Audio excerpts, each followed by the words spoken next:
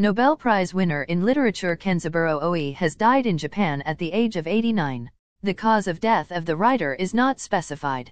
Oe became a Nobel laureate in 1994. He was awarded the prize with the wording for the fact that he created with poetic power an imaginary world in which reality and myth, united, present a disturbing picture of today's human adversity.